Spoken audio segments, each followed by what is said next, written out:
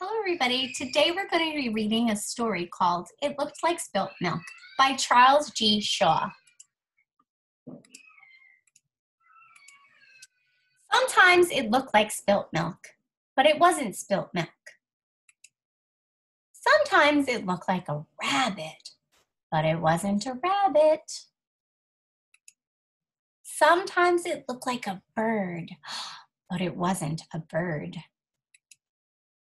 Sometimes it looked like a tree, but it wasn't a tree.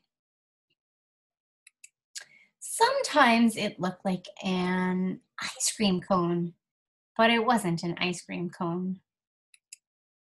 Sometimes it looked like a flower, but it wasn't a flower.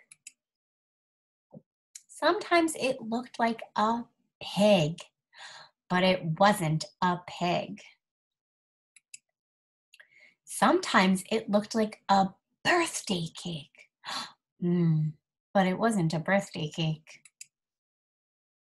Sometimes it looked like a, hmm, a ba, a sheep, but it wasn't a sheep. Sometimes it looked like a, ooh, ooh, ooh, ooh. Oh, I know. Sometimes it looked like a great horned owl, but it wasn't a great horned owl. Sometimes it looked like a mitten, mitten, but it wasn't a mitten. Sometimes it looked like a squirrel, but it wasn't a squirrel.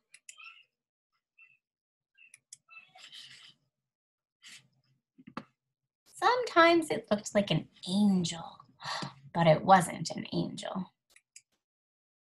Sometimes it looked like spilt milk, but it wasn't spilt milk.